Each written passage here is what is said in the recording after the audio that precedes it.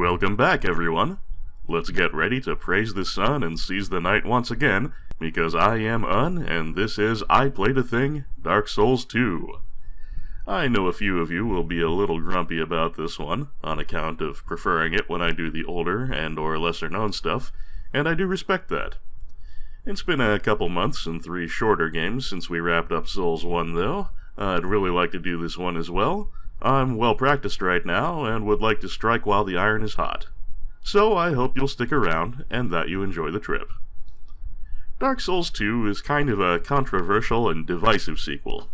Coming three years after the first game, it experimented with a number of fairly ballsy tweaks in hopes of rebalancing and overall improving both the PvE and PvP experiences. Some worked better than others. It was also developed under a new pair of directors, and while they stayed pretty faithful to the fundamentals of its predecessor, one can definitely see some differences in level design. The end result was a rather sharp split in the Souls fanbase between those who consider this an irredeemable pile of shit, and those who find it to be a worthy production in its own right. As you'd expect, given the fact that I'm LPing it, I'm in the second camp. Dark Souls 1 set a very high bar that I don't think 2 quite reaches, but it was a very high bar. While just shy of being a superior sequel, for my money this is a very worthy one. I'll be playing the PC version of Scholar of the First Sin, kindly gifted to me by longtime friend of the show and longer time friend of the Un, Justin Carpenter. Scholar was a 2014 re-release that integrated all of the original release's DLC, along with some nifty new content. Most of its features were incorporated into a free patch for existing versions of the game, but the full re-release for PS4, Xbone, and DX11 PCs also supported some modest visual improvements, lets you summon three phantoms for multiplayer, and moves lots of items and enemies around. The changes make some areas easy and some much harder, so it amounts to an all-around difficulty rebalance. Whether it's worth rebuying the game as opposed to just playing the patched vanilla version, your mileage may vary, but if you're coming in fresh, I would say this is the definitive Dark Souls 2 experience. Well then, as is my wont, I've talked at you way too long, so let's jump on in.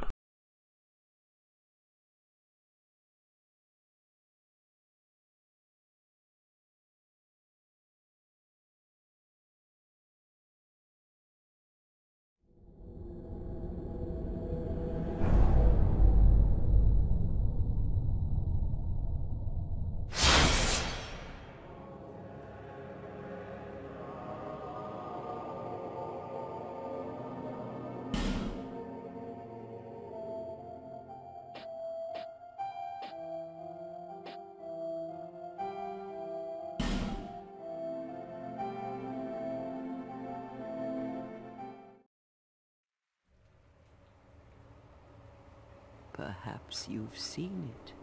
Maybe in a dream. A murky, forgotten land.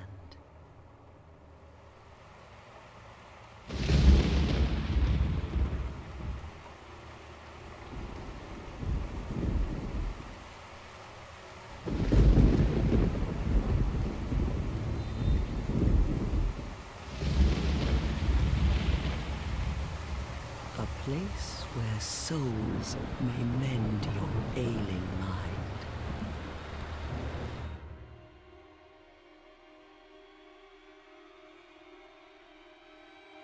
You will lose everything.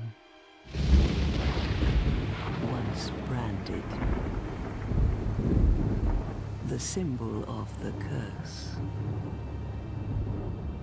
An augur of darkness. Your past, your future, your very light.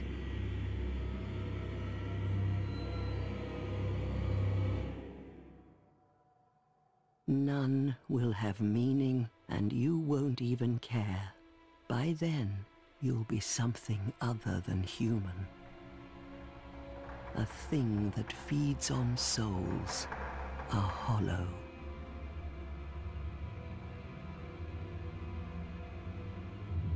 Long ago, in a walled-off land, far to the north. A great king built a great kingdom. I believe they called it Drangleic. Perhaps you're familiar. No, how could you be? But one day, you will stand before its decrepit gate without really knowing why.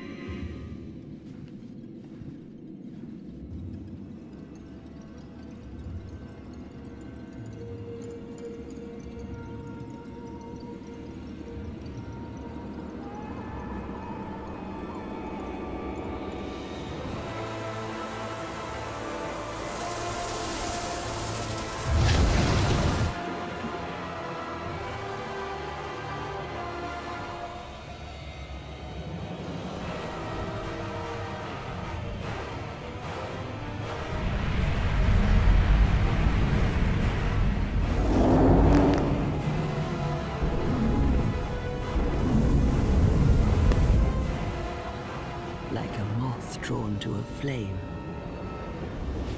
Your wings will burn in anguish. Time after time.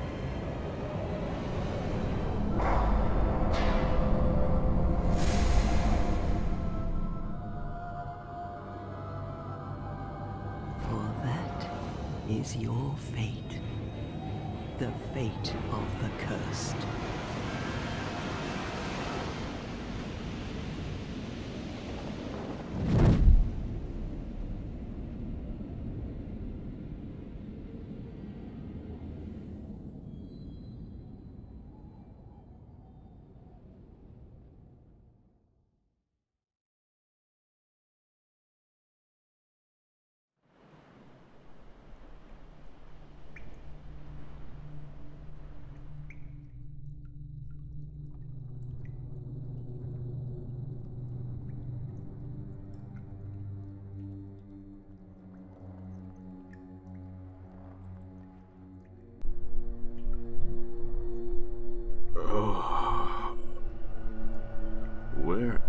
Am I?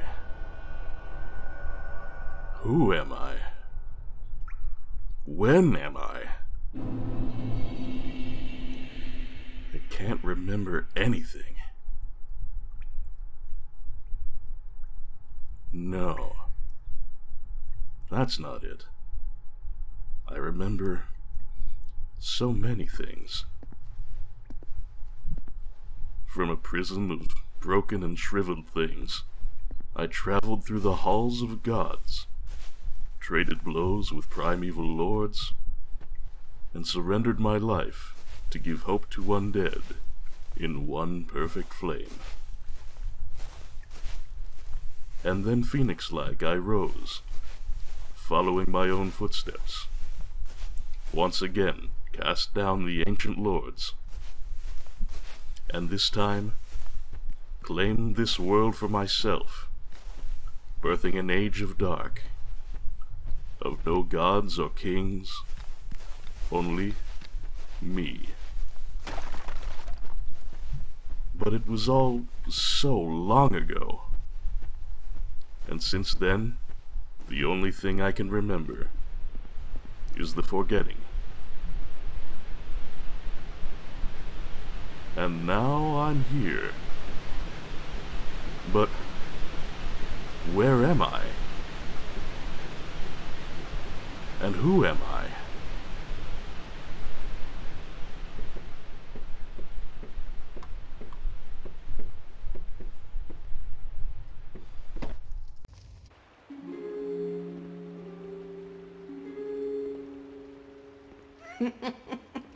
What seems to be the ruckus? Oh my, your face. The face of the curse. It's an undead. An undead has come to play. they all end up here. All the ones like you. You spoke to that kind old dear, didn't you?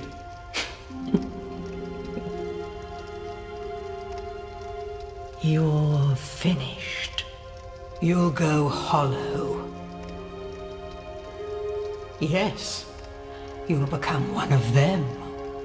Hollows prey upon men, feast upon their souls.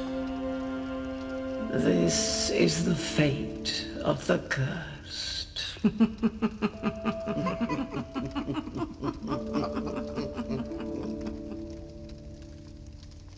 Is your name?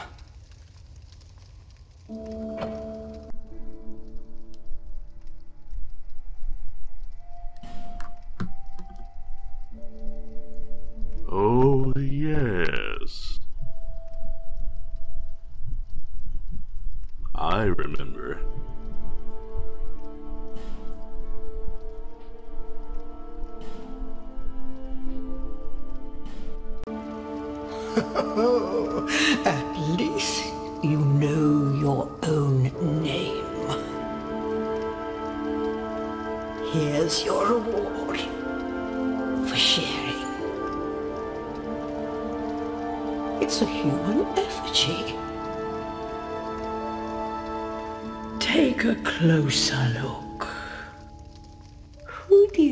It's supposed to be?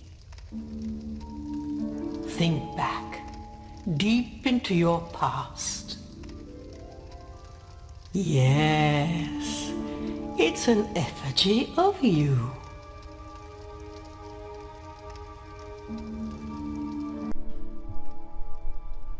I don't really see the resemblance. Unless this is some crack about when I set myself on fire, in which case I think it's in very poor taste.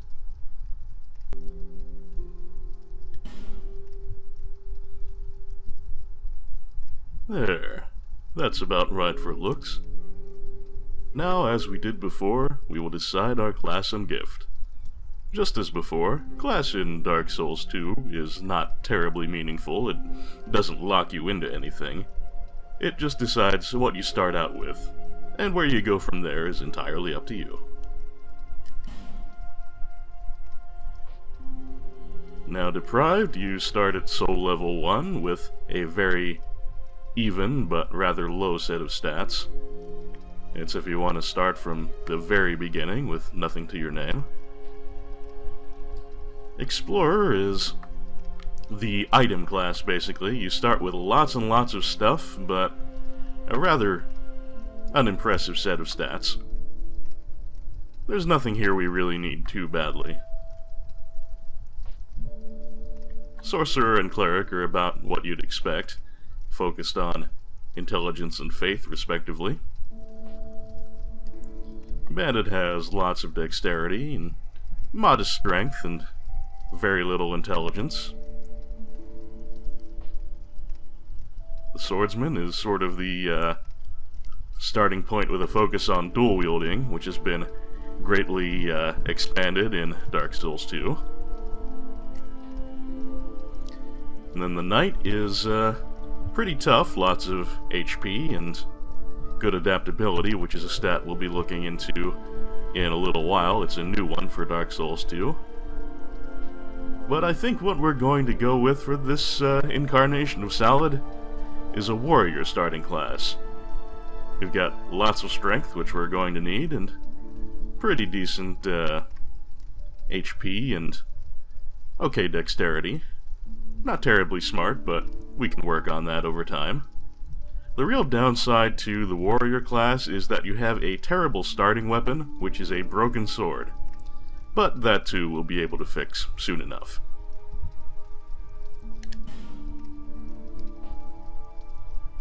And we get to pick a starting gift. This time out, there's nothing like the Master Key, which is by far the uh, most practical starting gift. None of them are real standouts, I think. You've got the life ring, which just increases your HP a bit. We can find one of those fairly early in the game, so I don't think that makes a very good starting gift. There's the human effigy, which is the equivalent of humanity in this game. That is to say, it's what reverses your hollowing. Healing wares, which is just an assortment of uh, restorative items. Homeward Bone, you remember what that does. It returns you to the last bonfire you rested at. The Seed of a Tree of Giants. I like that it emphasizes that it's inedible. But the idea with the Seed of a Tree of Giants is that when someone invades you and goes for a little PvP on your ass, the Seed of a Tree of Giants will cause the enemies to turn on them. And this tends to surprise people because they're not expecting PvE enemies to attack them while they're invading. That's a pretty fun item and fairly hard to come by in the game, but I think I'll pass. The bonfire ascetic is interesting. If you throw this into a bonfire, the area surrounding that bonfire moves one level up in the new game cycle. So for example, if you were to toss this in a bonfire in a particular area, then that area would act like it was New Game Plus. Or if you were in New Game Plus already, it would act like it was in New Game Plus 2. Pretty handy in some circumstances. Again, though, there are plenty to be had. And finally, petrified something. This is a trading item. There'll be some folks we meet in the fairly early game that we can trade certain things to, and the petrified something is the best trading item. It tends to get you the best rewards. If we're lucky, that might get us something really nice early in the game, so I think that's what I'm going to go with. Let us journey onward.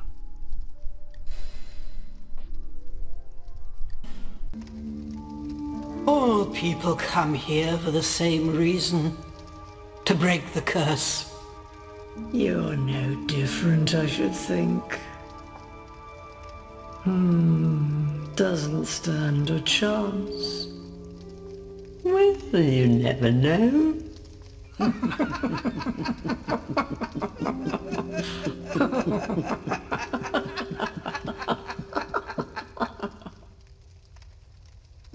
Through the door and trot along to the kingdom.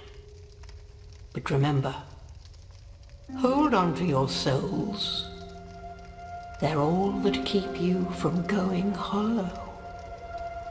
Oh, I'll fool you no longer.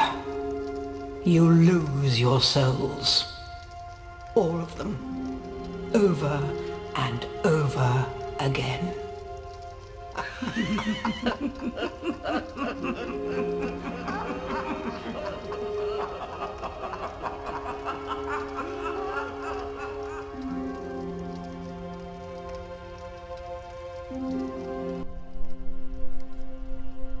And so the game begins. Not a bad loadout overall for just starting out. Although we're really going to have to do something about that broken sword. Well, for starters, let's step on out and take another look back over the very opening area. This, by the way, is Things Betwixt, which is the tutorial and introductory area. And I passed by them on my way here, but there are a few things that we can pick up before we really get started.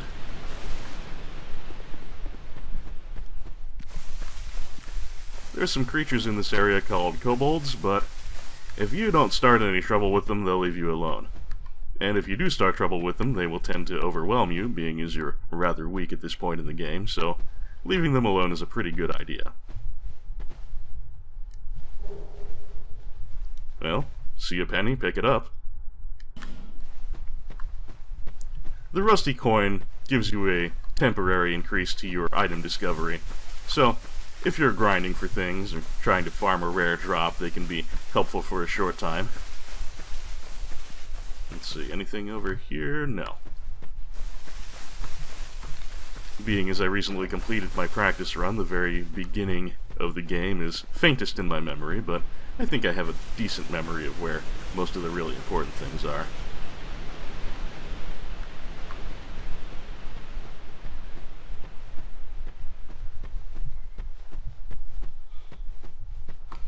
Ugh, this hippo thing. Just like real life, a hippo ain't nothing to fuck with. Especially not with a broken weapon. So we're gonna leave that alone for now, too. Still good to know it's here. It's a critter worth fighting eventually when we stand a better chance of it.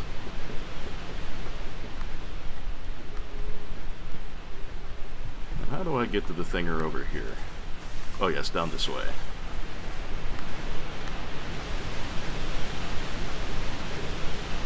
A small, smooth, and silky stone. This is going to be another trading item. Just like the petrified something, we can give it to someone in the early game and get something in return. And that'll be nice.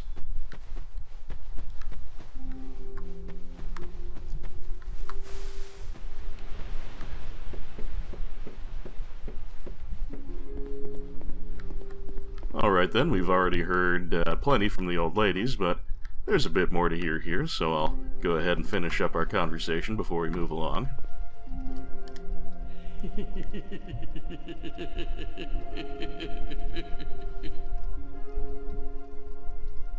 Not very enlightening. Actually, these old bats are kind of rude, aren't they? Losing our souls over and over. I mean, yeah, we're probably going to do that, but, you know, you're not wrong, Walter, you're just an asshole. You must go on a journey without rest. Well, I suppose if you find yourself at an impasse. But if your will is yet unbroken, then you may return here. To start again. With a clean slate.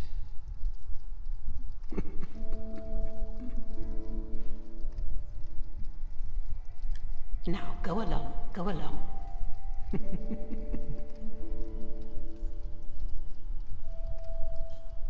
Now, starting over with a clean slate is a hint at a new mechanic introduced in Dark Souls 2, which is respecking.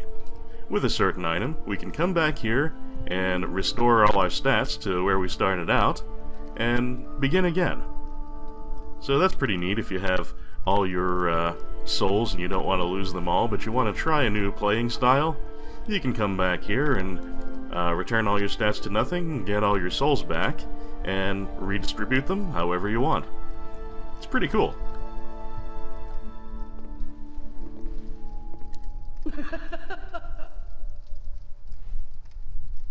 I don't see what's so funny. This is a limbo. A link between Drangleic and the outer world. Fair traveler, I know that you must have a story.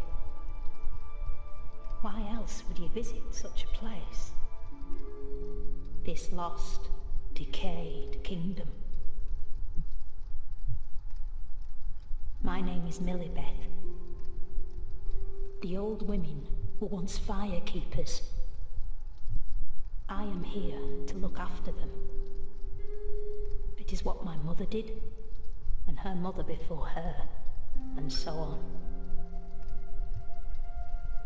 The old women were keepers of the fire. But now, the fire shows signs of fading.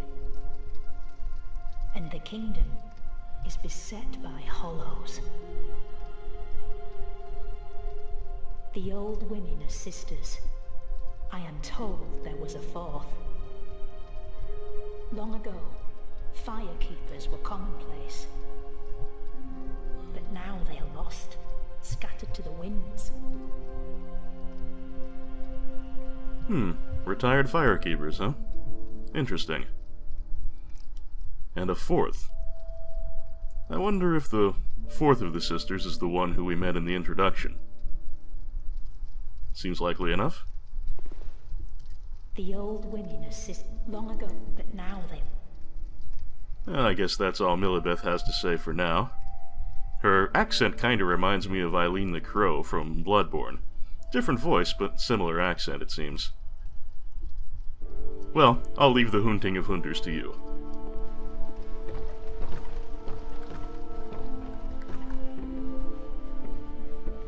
I'm sure the old ladies won't mind if I check out the chest here.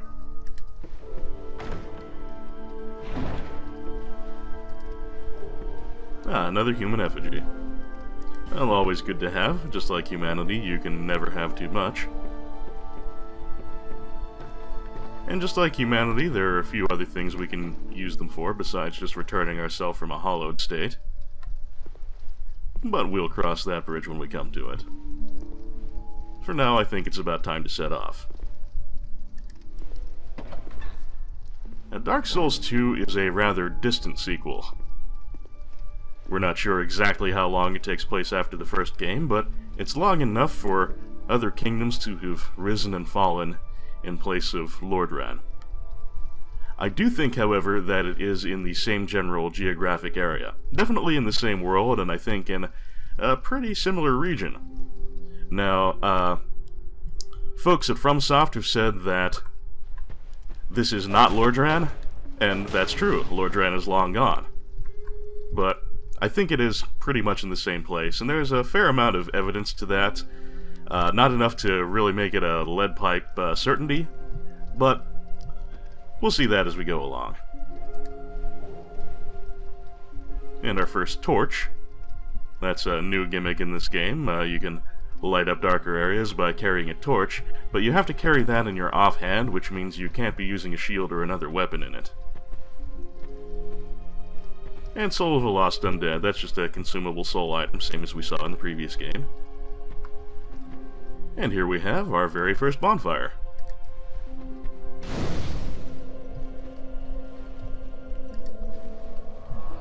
As always, we can attune spells here and check out our item box, which we don't have to purchase this time. We have it from the very beginning. And we've got two new options here. There's travel, in this game, the Lord Vessel does not make an appearance, and we don't need anything to warp. We can travel between bonfires right from the very beginning. Very convenient that, and the game is designed around it. It is a much more sprawling world this time. One of the things that I think is an improvement in Dark Souls 2 from the previous game is just the scope of it. It's, it's quite a large game. And we also have the option to burn things.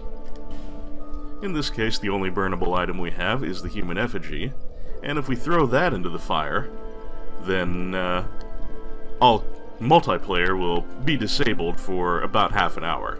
So we can't summon anyone, but no one can invade us. So that's one of the alternate uses of human effigies, right there.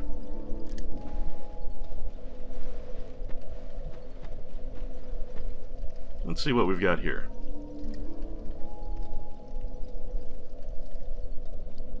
These tablets are just the tutorial information that we'll see as we go along. In this case, we have those instead of messages on the ground, but we will be seeing the multiplayer messages just like before. And as it said, as we approach the bonfire, we do have a toggle option for lighting the torch here. There will be lots of things that we can use a torch to further ignite along our path here, but I like to clean out areas first so I can keep my shield. And then I'll come back and light things as I go along. And we start to see some braziers here. You can use your torch to ignite these as well. And use them to ignite your torch if they're already lit. And they're just a light source. They will stay lit forever. You uh, can come back any number of times over any length of time, and the braziers will remain always lit. So it can be useful as a marker of where you've been, and also just to provide a little extra light. There are some dark areas uh, throughout the game that these will be particularly useful in. Right now I'm just going to light all the ones that I can. And as you can see, your torch does have a finite lifespan. Got about four minutes left on it right now. We'll put that away. As you collect more torches, the time that you can keep one alive becomes longer and longer, and I find it's not something you usually have to worry about. You'll get enough torches over the course of the game that you're not really going to run into trouble with time. I suppose that all depends on your playing style and how heavily you make use of the torches, but I never had a problem with it. What have we got here? A statue blocks your way. Well, Salad's not a willowy woman, but I think if she really tried, she could probably squeeze past him, but... No, not going to be an option right now. This is actually something new introduced in Scholar of the First Sin. In order to gate off bits of the game so that you can't quite get to them uh, until later on, there will be more statues placed around, and later we'll find an item that allows us to bypass those statues, but it'll be a little while before we get our first one. So that's someplace we can't go quite yet. Let us proceed through the first fog gate. And now we'll be in an area where we can start encountering enemies.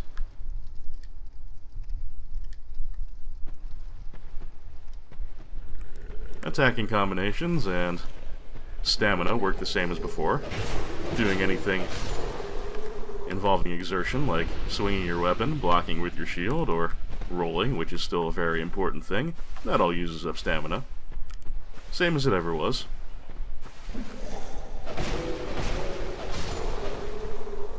Yeah, this broken sword really sucks. Well, hopefully we'll be able to do something about that in fairly short order. Oh, hi there.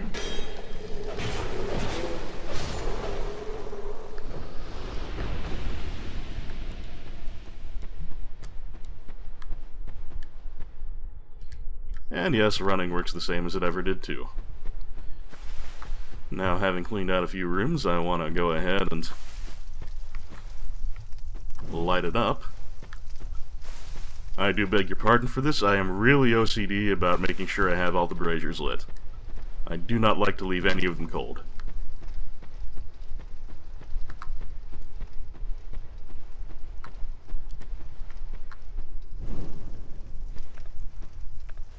Besides, you know me, I really hate limited visibility, and so I like to have lots of bright places.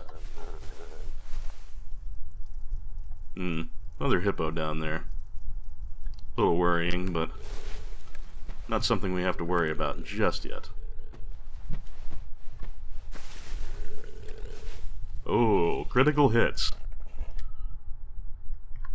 One type of critical hit that you're well acquainted with if you've played Dark Souls 1 or watched the previous LP is the backstab.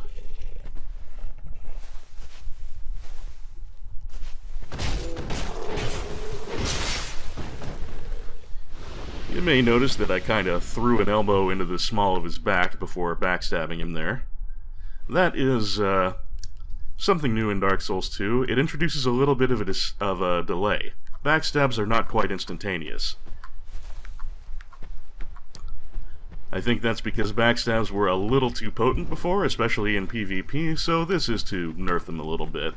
They're still very potent, you just can't count on them coming out as soon as you hit the button.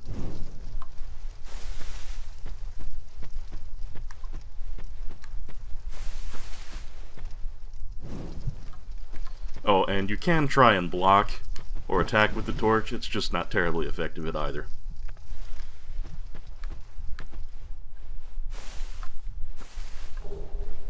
Hmm, a dagger.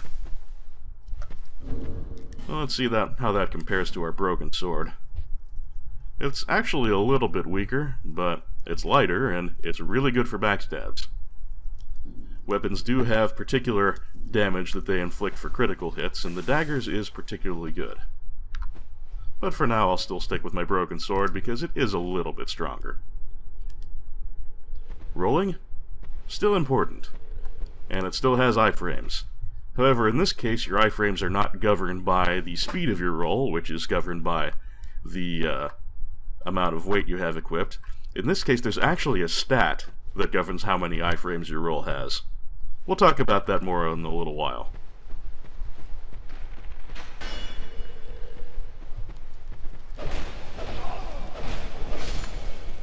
No shooting me. I don't appreciate it at all.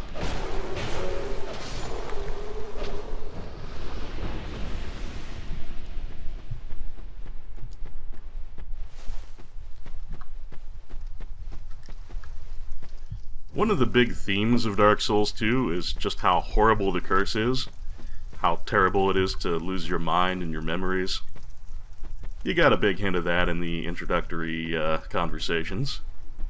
And one of the other big themes is cycles, history repeating itself.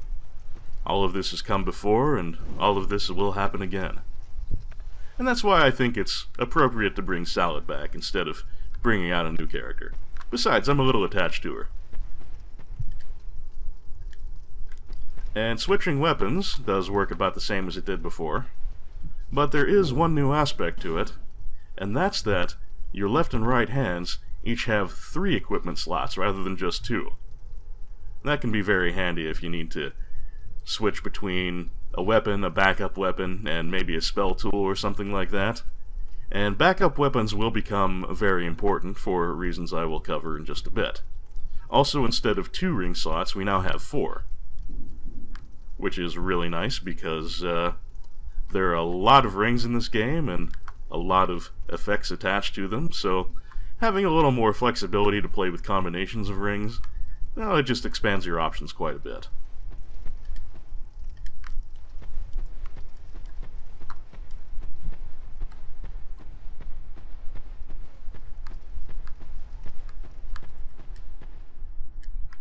And backstabbing, same as it ever was.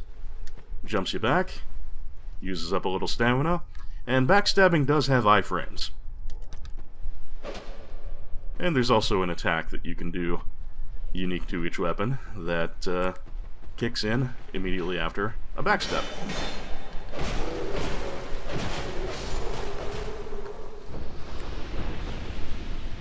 You do have to be very careful with people with projectiles in Dark Souls 2. It absolutely loves its snipers. Oh, he just used a guard break on me. That's something else I should cover. Let me take care of this guy first, and then we'll get into that.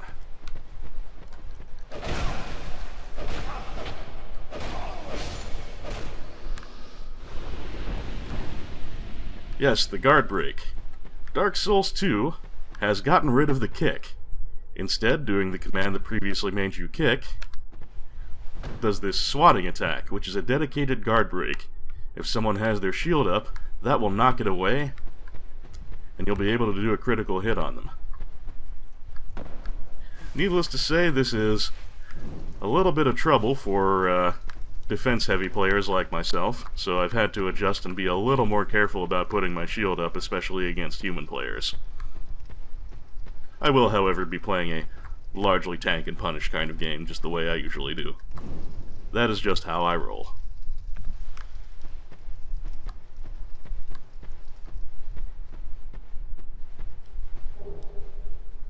Life Gems. Uh, you start out with 10 of those. I just picked up one more, giving me a total of 11, as you can see in the item slot. Uh, life Gems are used quickly, but they regenerate your health for a little while rather slowly. So uh, you can start your healing pretty quickly, but it takes a while to fully uh, put all the life back in your health bar. So just another option for healing introduced in this one. And that's how we would use them, but I don't want to do that quite yet.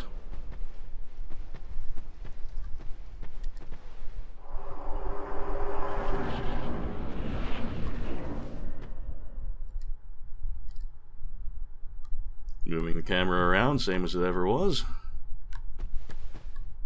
And there's an item just below, and another brazier to light, so I will take a lit torch along with me.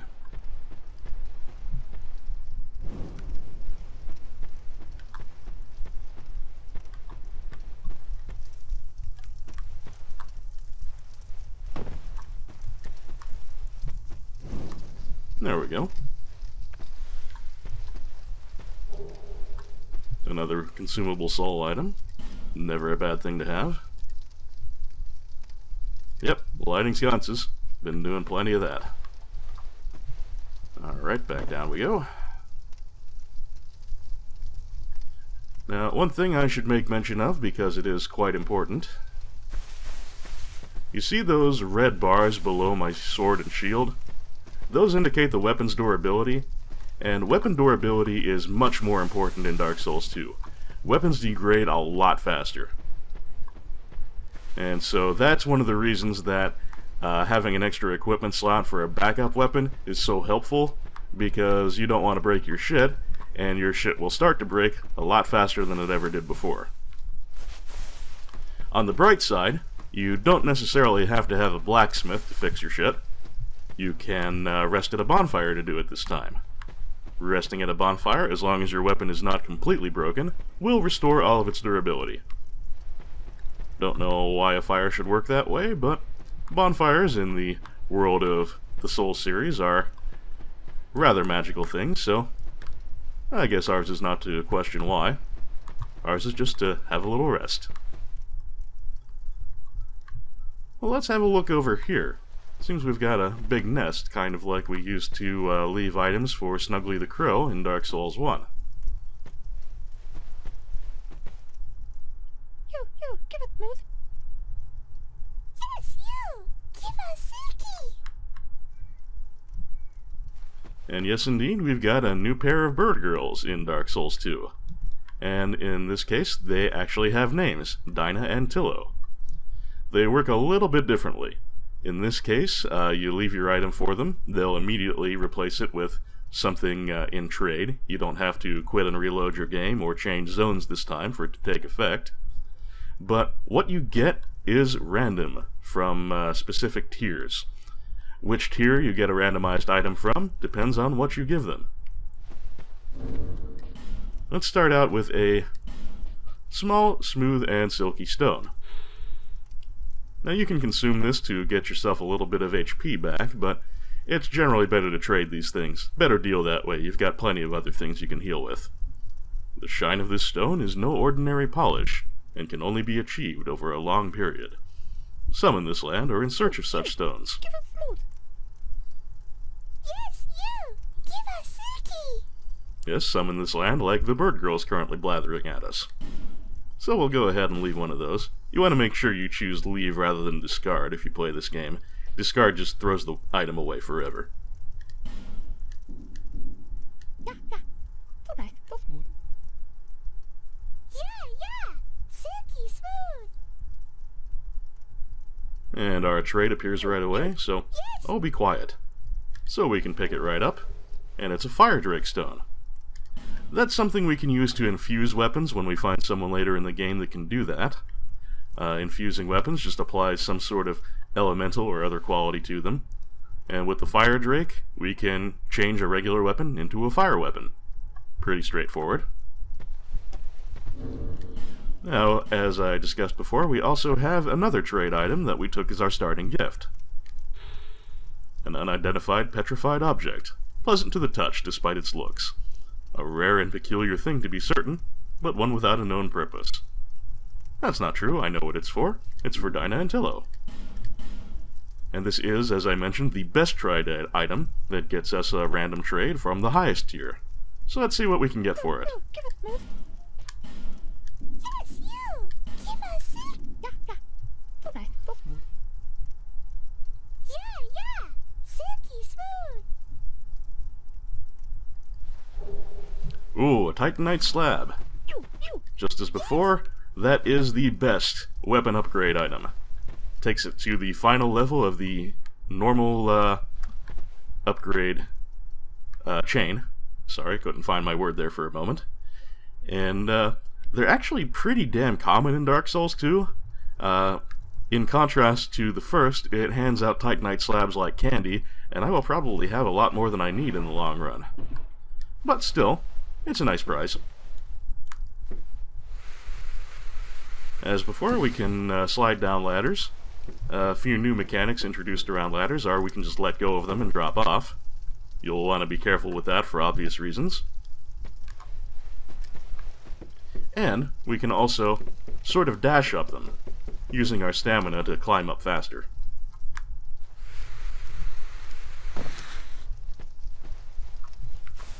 Alright then, let's continue on with the tutorial area, Things Betwixt. Let's see what else the game has to show us here.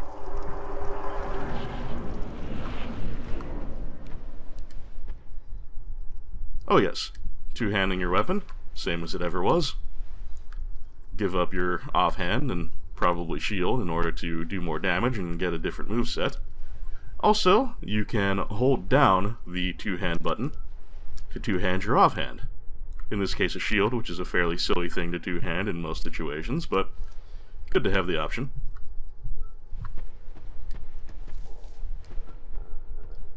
And something just randomly died. I guess some enemy probably fell off a cliff.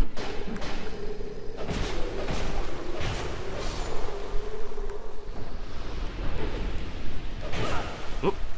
Got a little careless there.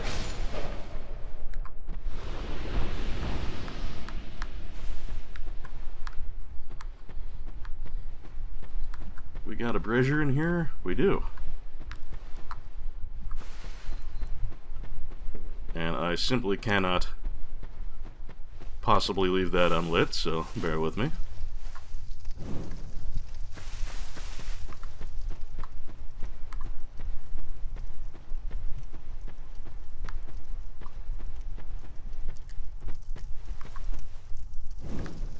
There we go. Nothing else in here, nothing else in here. Jumping. Works about the same.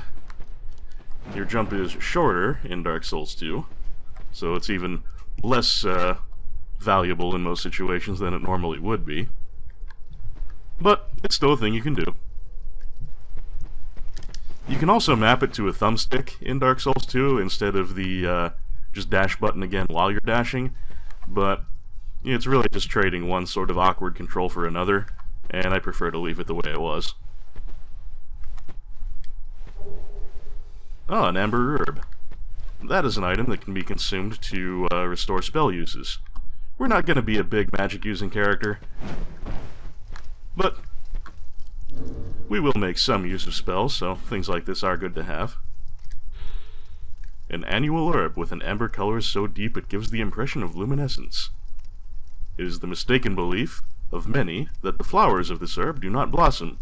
However, small white flowers do blossom during dusk when the moon is visible. As in the last LP, I'll be checking out flavor text for things as we pick them up. I'll go over some of our starting items in just a bit.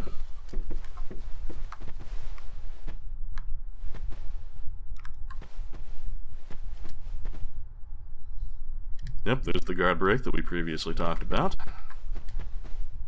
The plunging attack is still a thing, although the plunge attack is uh, less effective in this game, it seems.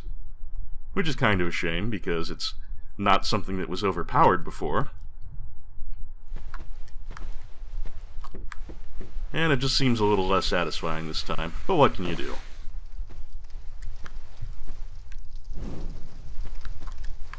And parrying works about the same as it did before. It's a little slower this time to keep it from being quite as overpowered in PvP as it used to be. Which annoyed a lot of people, but I don't particularly mind because, just as before, I don't use it.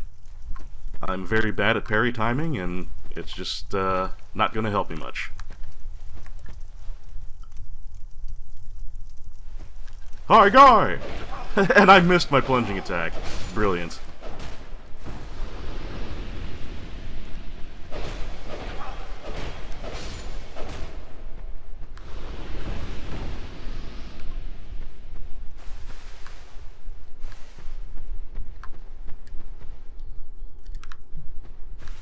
Jumping attack.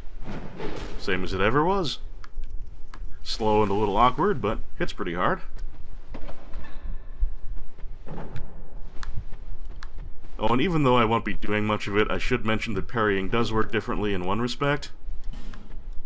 The uh, parry, in this case, doesn't just kind of leave the opponent standing there stunned, they actually fall on their ass.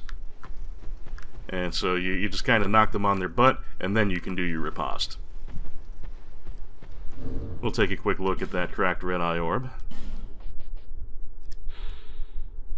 Defeat the master of a world you have invaded to acquire a token of spite. The residual sins of those who have summoned to dark temptations are contained in the form of the cracked red eye orb. So, yep, that's your basic PvP item. Same as it was in Dark Souls 1.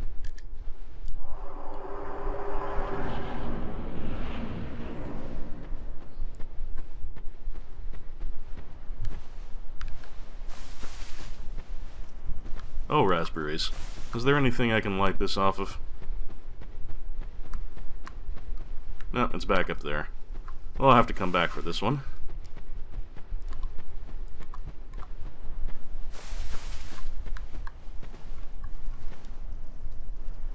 Give me just a moment, folks. I am that obsessive about these.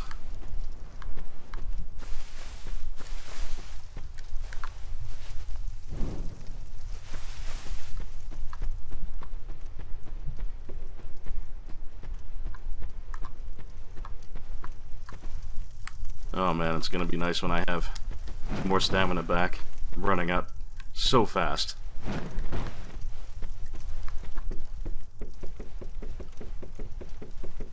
Just as in Dark Souls 1, my stamina is one of the things I'm going to uh, want to build up the quickest, just to get it up to its uh, sort of soft cap. Because not only am I a rather tanky player, and using uh, the shield heavily means you're going to want to uh, have lots of stamina to absorb hits. I'm Gonna use a life gem real quick. Just being able to swing your weapon around and dash a little more freely, well, that's always nice. Wow, basilisks in the tutorial area. That's kind of hardcore. But the basilisks are appropriately uh, placed behind the petrified guy, so we're not actually going to be tangling with those until later.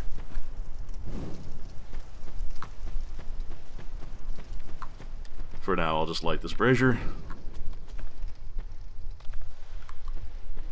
And we'll do a little tumble back to ground level. Righto, onward and forward.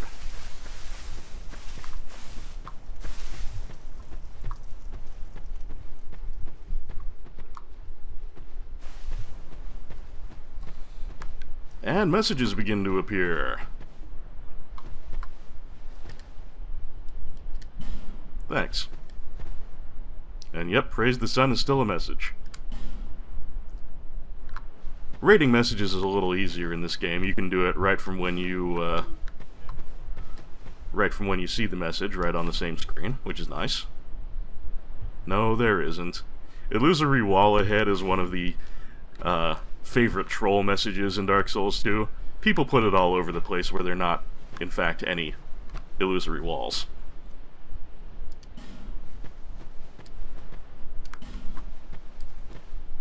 Also, the message system allows you to combine messages, sort of. You can do them in two parts. Put together one message, then use a conjunction, uh, conjunction like but or or or therefore, and then put a second message. So it's an expanded system, which is another genuine improvement. I don't think anyone would uh, argue that too much.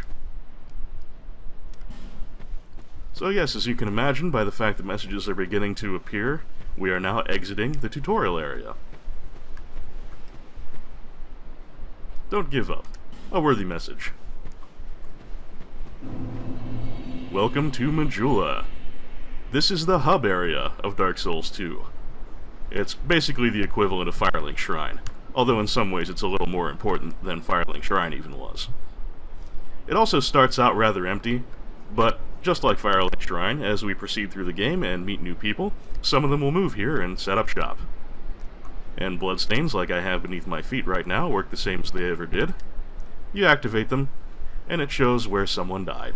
In this case, we have some goofy people running off and jumping into the ocean. And a fine-looking ocean it is. Majula has some very nice scenery, I have to say.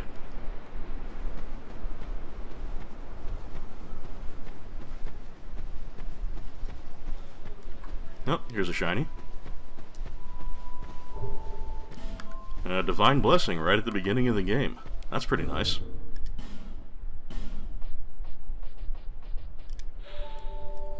It cures status effects and fully restores HP.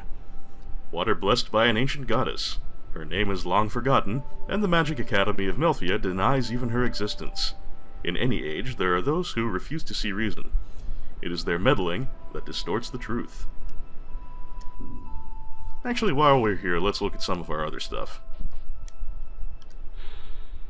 The human effigy is a warm, soft, shadow-like effigy.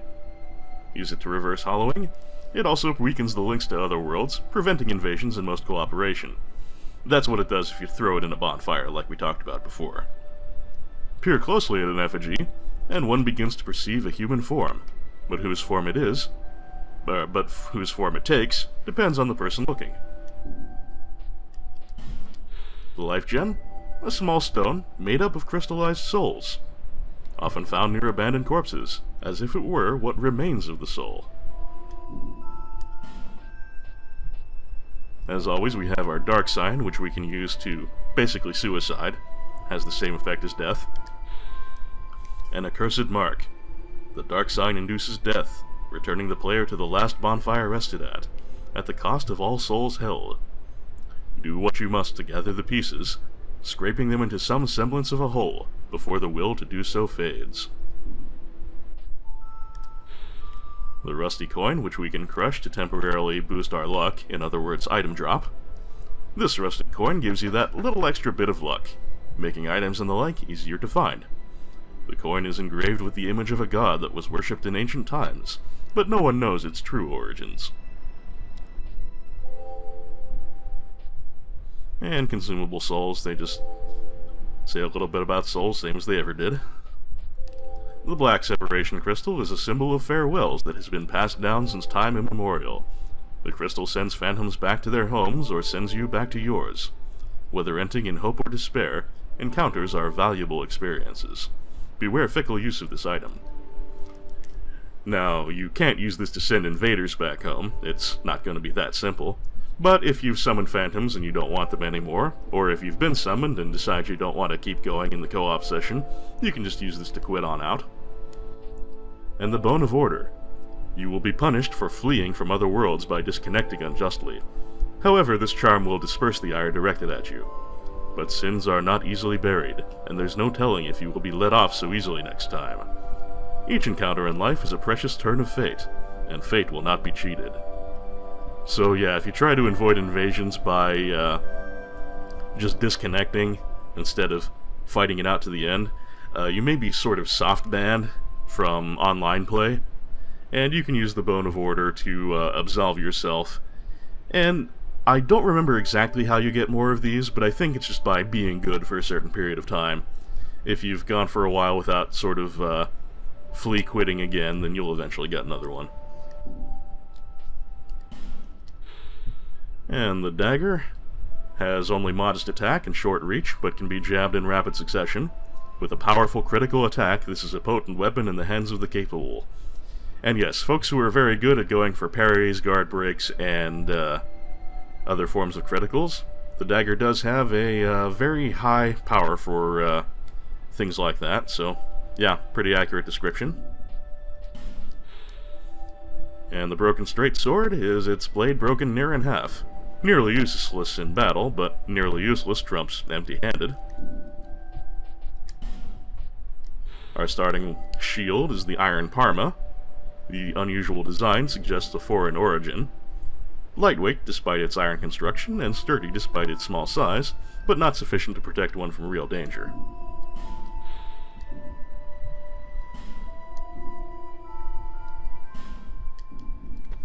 It does have a rather nice design on it, doesn't it? And yeah, while it doesn't have very good stability, it is a 100% physical block, so that's a plus. Oh, no, actually I'm wrong about that. It's 85% physical block. Moving on. The imported hood is what we started the game with before we chose our class. It's a hemp hood that fully covers the face, provides protection from the elements, and little more. The cursed souls who wander the lands have a strange way of ending up here, as if drawn from afar by some force. And the standard helm is just a commonplace piece of armor. No embellishments, but very solid. The imported tunic. Traveler's tunic won't provide much in the way of protection. And our starting class armor, the hard leather armor. Same deal as the helmet. Yeah, these all have pretty much the same description.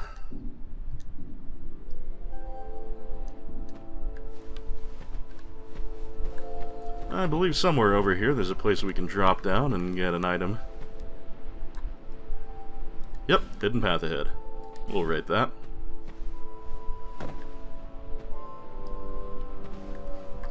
Let's see. Oh yes, we need to drop down a little bit further over here. And there's our shiny. And it's a Cleric's Sacred Chime. In this game, the items to class... Uh, ah, getting so tongue-tied today. The items to cast miracles are chimes rather than talismans. So there's the basic chime. We might as well take a look at that too. Most clerics receive this as their first sacred chime, a catalyst for miracles and hexes. Hexes are a new school of magic which uh, uses both intelligence and faith, and they are based on the dark magic that was introduced in the DLC of Dark Souls 1.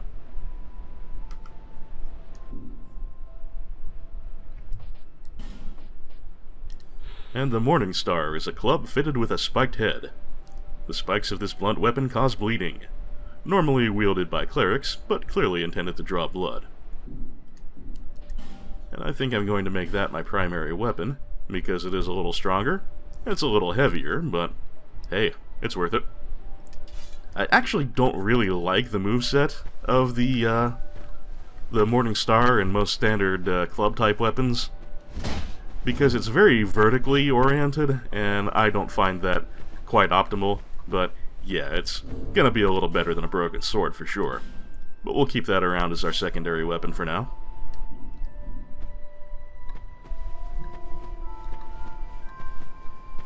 And here's another shiny.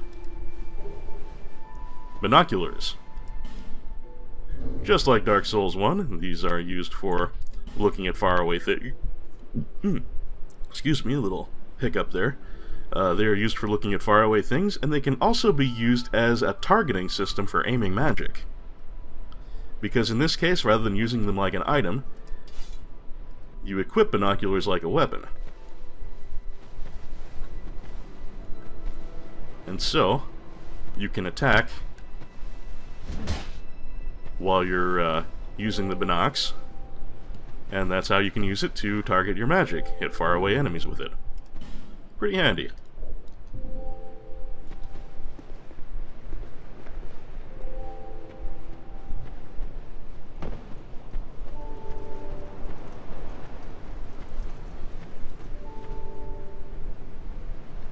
Right down there by the tree is going to be a very important character, who is going to be integral to our progress through the game.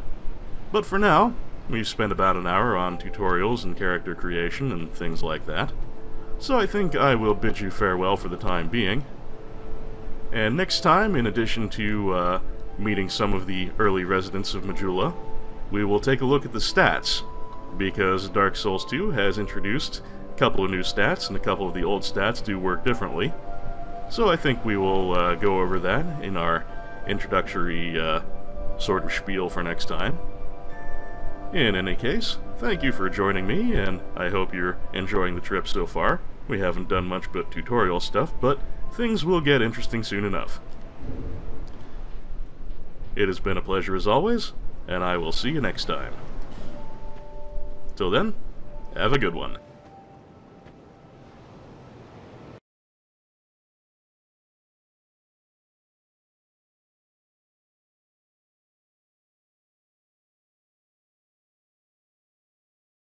I Played a Thing, Dark Souls 2, has been brought to you by such generous souls as Justin Carpenter, thank you again for actually buying me the game, Nolden, Zangamarth, Charlie Dunst, Anonymous Benefactor, John Madigan, Johnny Millennium, Sanguine Games, Joseph Coco, Misha Van Doren, Craig Patterson, Frank Grizzy, Tim J, Lolo De Puzzlo, Joshua C. Ritchie, Chibi UFO, Jared C. Rice, and Darren Chow. Thank you as well to all of my other patrons, and to all of you watchers, commenters, and subscribers.